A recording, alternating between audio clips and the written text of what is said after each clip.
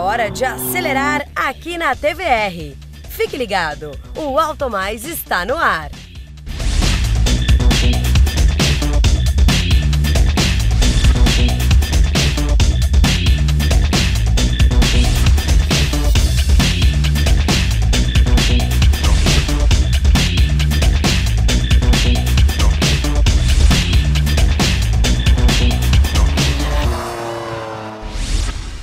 Estrelas da Chevrolet no Salão do Automóvel de São Paulo ano passado, o novo Tracker agora é vendido no Brasil e bem preparado para fazer bonito por aqui, como mostra o Bene Gomes. O Chevrolet Tracker foi profundamente alterado e quer mudar a sua condição no disputado segmento dos SUVs compactos aqui no Brasil. E se você gosta dele, vale considerar o novo motor turbo realmente vale começar pelo novo motor 1.4 Turbo Flex, o mesmo da nova geração do Cruze, aqui também acompanhado da transmissão automática de 6 velocidades, mas com um novo acerto. Esse conjunto deu sim muita personalidade para este SUV.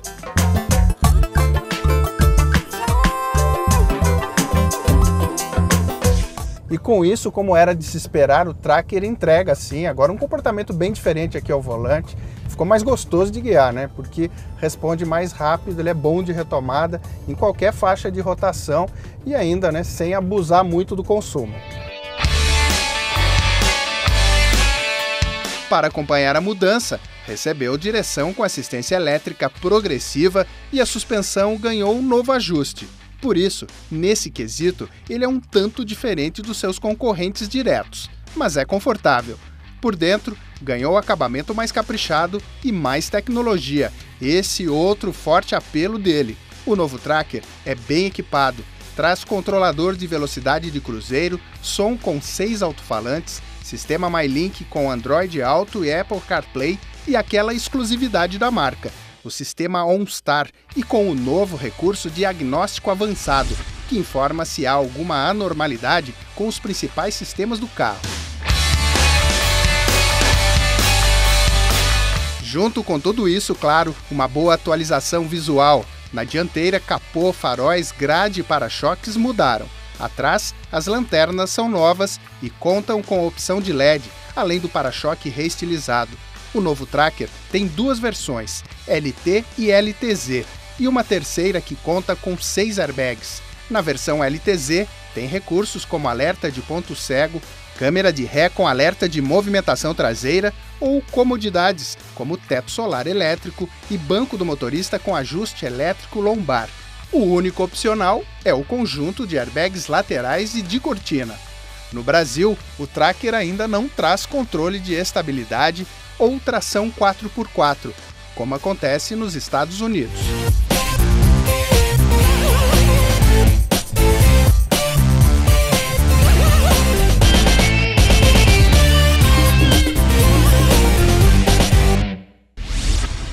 Amantes da Stock Car podem comemorar. A temporada 2017 já começou e você vai conferir todos os detalhes no próximo programa. Enquanto isso, que tal ir matando a saudade com esse duelo entre um carro da prova e a moto mais rápida do mundo em Interlagos? Agora no Moto Mais.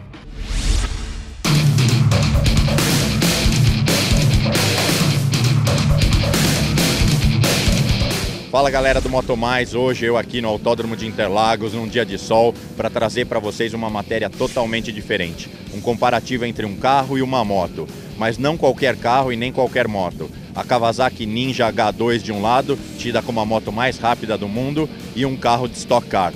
Vamos lá?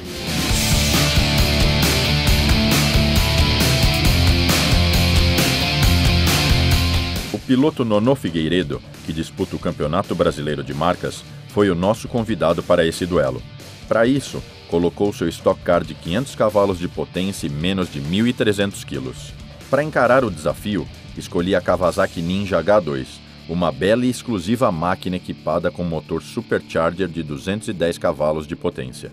Pare o duro, dos bons, mas antes é bom saber do que cada uma dessas máquinas é capaz na pista. A principal diferença entre o carro e a moto na pista é o seguinte: as motos têm uma aceleração muito, muito forte. Então, elas, quando elas saem da curva, elas ganham velocidade muito mais rápido que um carro.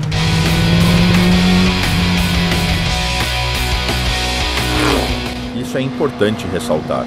Apesar da menor arrancada, os carros têm a vantagem de contornar as curvas em velocidade mais alta. Afinal, são dois pneus a mais com largura bastante superior aos da moto, o que garante mais aderência na pista. Isso sem esquecer de uma característica importante que envolve a condução de cada veículo. O piloto de carro, basicamente, embora ele segure o pescoço, a cabeça, ele usa os braços e, logicamente, os pés. Já um piloto de moto, o corpo inteiro integra a pilotagem. A forma que ele pendula, usa o quadril, o tronco, o cotovelo e tudo mais, interfere diretamente em como ele vai contornar as curvas quão baixo ou alto está o centro de gravidade e o quanto ele pode esperar de aderência ou não. Por isso, a pilotagem de motos com relação ao lado físico é muito mais exigente.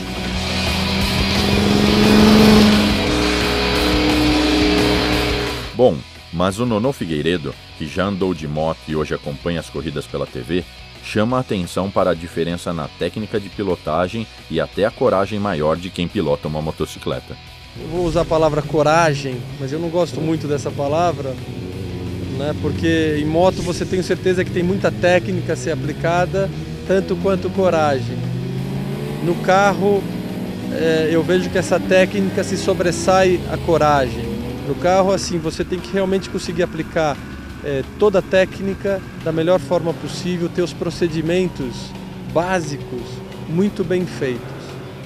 Na moto eu já vejo que existe ali um, um, uma margem muito grande para aquele piloto que é realmente muito, muito corajoso, que consegue chegar bem próximo à curva, que tem é, aquele domínio da moto né, muito bom.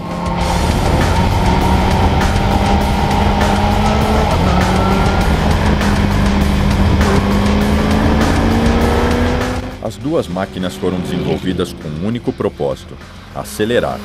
Assim, para garantir a segurança dos pilotos, a tecnologia acompanhou a inovação dos motores, adaptando freios e suspensões mais adequadas para essas situações. E por falar em aceleração, é bom lembrar que os carros da Stock Car podem chegar a 270 km por hora no final da reta de Interlagos. Será que é suficiente para bater as motos de corrida? É difícil você comparar um com o outro. Né? Moto na aceleração some do carro. Né? Então acho que o carro ganha num lado, moto ganha em outro. Né? Aí no final das contas o que vai determinar quem é mais rápido é o tempo de volta.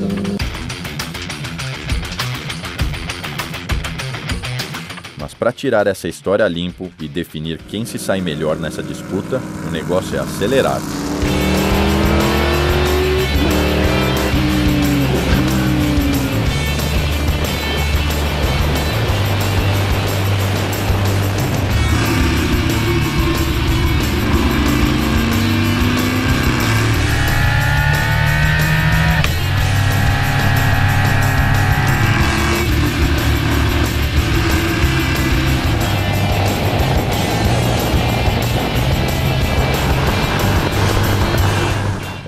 A moto não deu mesmo chance para o carro. Por isso, Nono Figueiredo acabou defendendo o seu lado. O prazer de pilotar dentro de uma competição, ele não está em primeiro lugar. Ele está ali, existe, você sente, mas o foco mesmo numa competição de carro está ali em ser o melhor, em virar rápido, em vencer a prova, em vencer o campeonato. Olhando as corridas de moto, sem dúvida eu vejo que é, o piloto sair de uma curva empinando, andando meia reta de uma roda só, deve dar ali uma satisfação, um prazer muito grande. Mas de novo, eu acho que o piloto de moto também está ali para virar bem, para superar os desafios que os riscos de moto, sem dúvida nenhuma, são maiores do que os de carro. Mas no final das contas o piloto quer ganhar a corrida.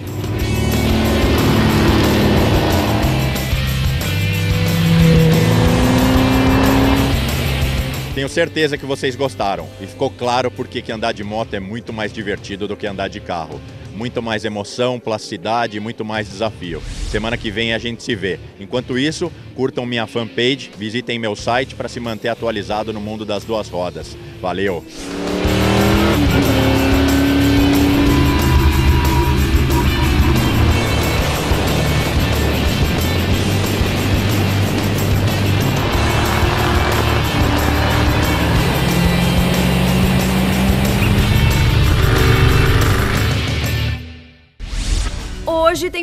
Do Brasil entre os sedãs médios. Isso mesmo, o Toyota Corolla foi renovado e, pelo jeito, vai continuar dando trabalho para os concorrentes.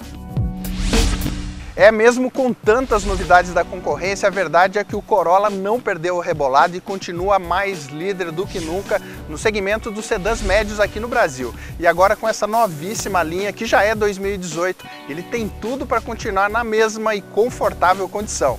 Veja o que mudou nele. Então não espere mudança radical. Afinal, para ficar bem claro, saiba que mesmo com a chegada dos renovados Honda Civic e Chevrolet Cruze no ano passado, que ganharam linhas mais abusadas e motores turbo, por exemplo, o Corolla não só continuou líder, como conseguiu vender praticamente o dobro de Cruze e Civic juntos em 2016. Sendo assim, a linha 2018 ganhou apenas um tapinha no visual. Na frente, novos conjuntos de faróis, grade e para-choque. Atrás, lanternas com iluminação por LED com uma nova disposição das luzes. Mas o pulo do gato foi fechar a única porta que ainda deixava entrar uma crítica forte. Agora, todas as versões do Corolla têm controles eletrônicos de estabilidade, tração e até assistente de partida em subida, uma atualização muito importante. E esse é um detalhe que nem estava atrapalhando o desempenho de vendas, né? Mas é verdade que com o controle de estabilidade, o Corolla ganha uma nova situação, né? uma nova condição, principalmente no quesito segurança. Junto com isso, a Toyota aproveitou para fazer um novo acerto de suspensão, mudou as rodas que agora são de aro 17 e também fez um novo acerto para a direção com assistência elétrica. Na prática, você vai perceber, se for muito atento, que o Corolla ficou um pouquinho mais firme, mas ele ainda está muito confortável, muito estável.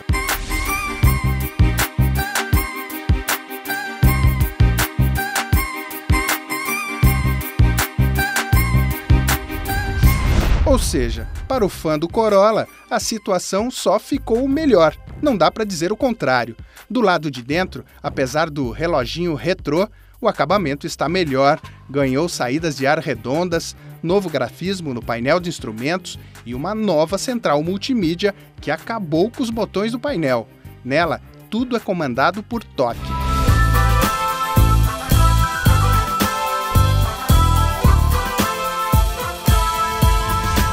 Com relação a motor e câmbio, tudo igual. A versão GLI tem o 1.8 Flex de 144 cavalos de potência, com transmissão manual de 6 velocidades ou a automática do tipo CVT.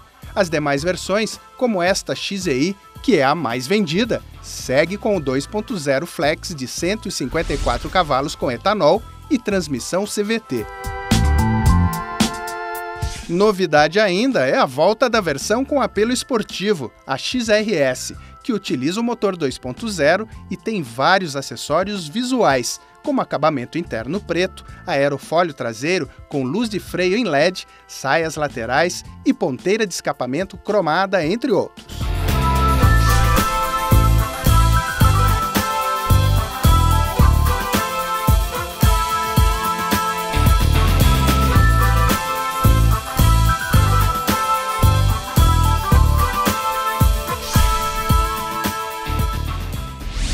Conhece a loja do Automais na internet? Então acesse agora mesmo www.automaisstore.com.br. São mais de 45 mil itens reunidos num espaço exclusivo criado pelo time do Automais em conjunto com a Jocar, líder em audiência e vendas online do segmento automotivo. Na Automais Store, você encontra tudo para o seu automóvel de um jeito muito simples. Um exemplo? Basta digitar as informações sobre o seu carro nos campos do início da página e logo é exibida uma lista com todos os produtos disponíveis para ele. Fácil, não é? E mais, é aqui que você pode comprar em condições especiais os produtos da Grife Automais. Kit de ferramentas, boné, camiseta e o livro DVD do documentário Rota 66. Todo o processo é muito tranquilo, é só selecionar os produtos, incluir no carrinho e definir a melhor forma de pagamento. Anote aí, a melhor linha de produtos do mundo dos automóveis, motocicletas e do automobilismo está no www.automaisstore.com.br. Agora o Automais dá uma paradinha. Mas segure aí que voltamos rápido.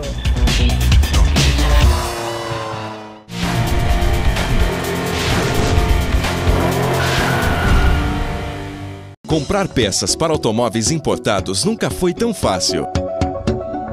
A Sadi Motores tem um estoque completo para todas as marcas. Tudo a pronta entrega. Os preços são os mais baixos do mercado, pois você compra direto do importador, sem intermediários. Acesse sadi.com.br. Se preferir, mande uma mensagem pelo WhatsApp 0 operadora 11 99363 4889. A Sadi garante entrega rápida para toda a região.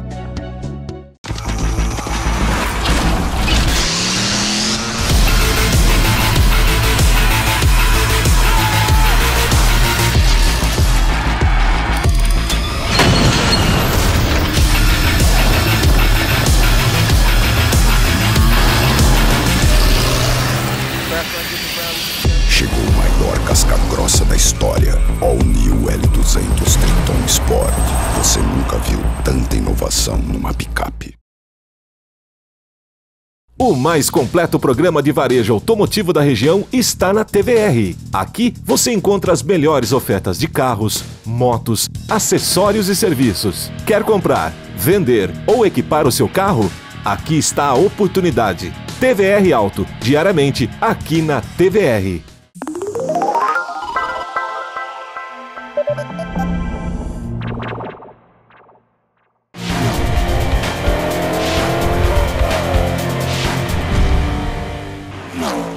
Estamos de volta com o Alto Mais aqui na TVR. E a pegada agora é acelerar, no sentido mais literal da palavra. É que tem novidade no automobilismo para fazer a alegria dos fãs de provas de longa duração. O Thiago Mendonça traz os detalhes.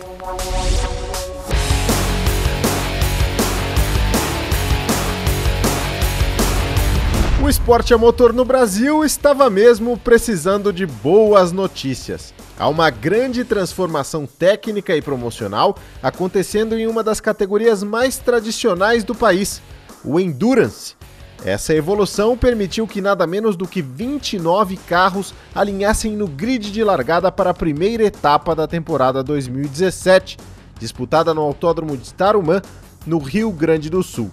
Entre os inscritos, tinha de tudo: protótipos, modelos GT e carros de turismo, dos mais mexidos aos mais simples. Diversidade de carros, isso que eu acho mais eh, essencial do Endurance. Existe carro para tudo que é tipo de gosto, de bolso e a parceria que não se corre sozinha. Endurance sempre corre com dois pilotos, três, quatro, depende de uma prova mais longa. Então isso é o que facilita é, corridas de estratégia, corridas que, que vai além da velocidade. Entre os principais destaques das 3 horas de Tarumã estava o Porsche 911 GT3R da Stuttgart Motorsports. A equipe é bastante conhecida nas corridas de longa duração e fez seu retorno ao Campeonato Brasileiro, tendo como pilotos Marcel Visconde e o bicampeão da Stock Car, Ricardo Maurício. Como era de se esperar, esse carro esteve o tempo todo na briga pela vitória. Em uma prova cheia de alternativas, que começou com piso molhado e terminou no seco, o Porsche andou na frente por boa parte da corrida. Mas acabou sendo superado nas voltas finais pelo protótipo Tubarão, pilotado por Tiel de Andrade e Franco Pasquale. Marcel Visconde e Ricardo Maurício terminaram em segundo lugar, seguidos pela Lamborghini de Marcelo Santana e William Freire na terceira posição. É uma corrida que depende do piloto, depende do carro, depende da equipe e principalmente de uma boa estratégia.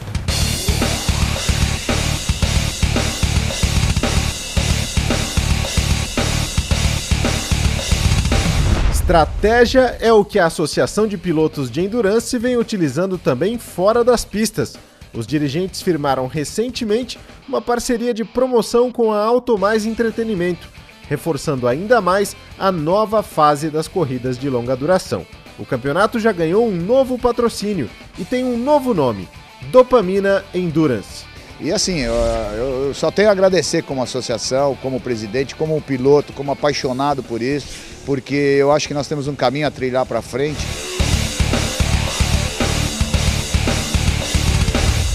No total, o calendário prevê oito etapas, seis delas válidas pelo Campeonato Brasileiro da modalidade, e vai passar por algumas das pistas mais importantes do país, como Guaporé, Santa Cruz do Sul, Curitiba, Interlagos e Velotitá.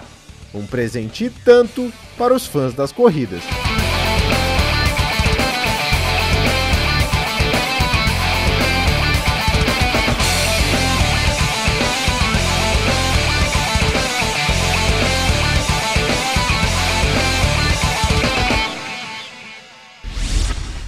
Curtindo esse ritmo de alta velocidade? Então continue no clima, porque a adrenalina não vai baixar não. O Marcelo Santana já volta correndo para a pista com o ranking Auto Mais.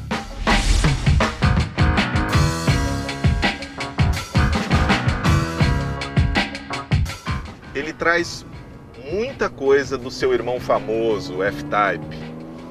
Traz um motor de 380 cavalos, o câmbio de 8 velocidades, tração integral. Ele faz de 0 a 100 km por hora em 5,5 segundos.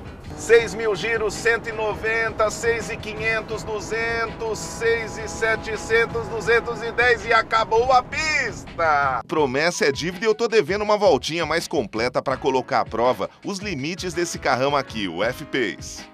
Tá preparado? Bora acelerar para saber quanto ele vira em Interlagos.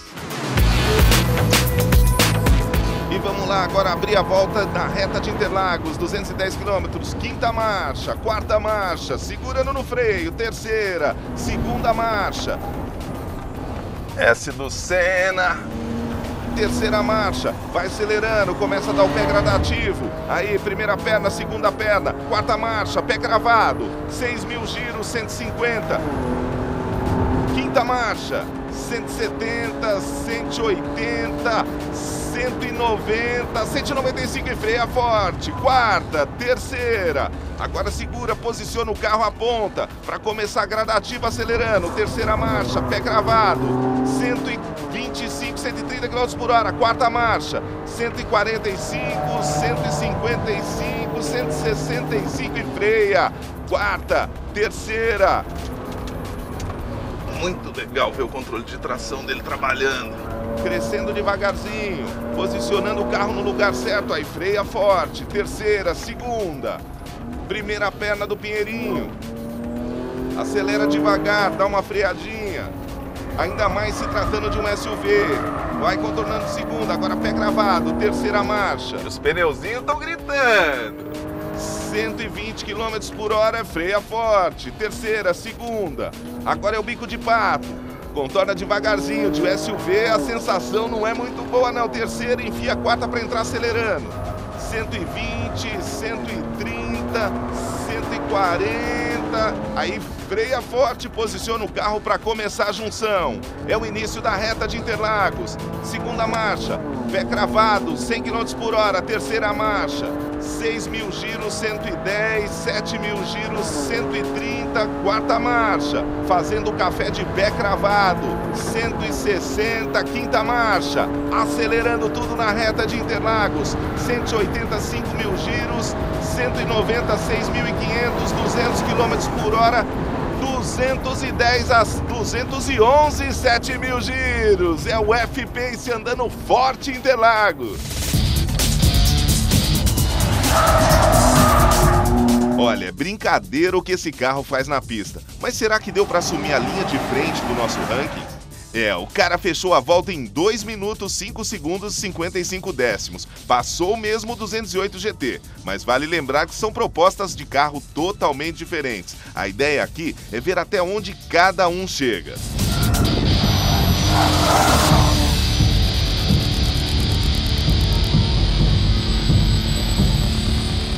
Brinquedão especial. Realmente tem muita personalidade, tem muita pegada e eu gostei tanto que acho que esse final de semana ele vai ficar comigo. Belo brinquedo. Valeu!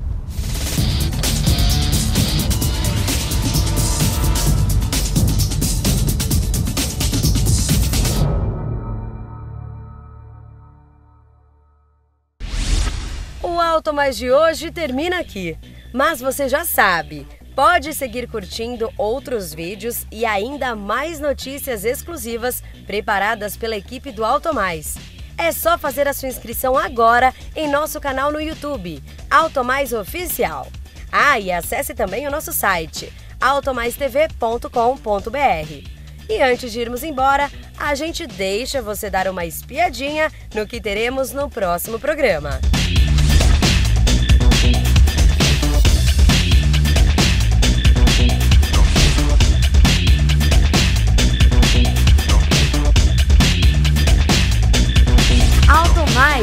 Seu programa de automóveis aqui na TVR.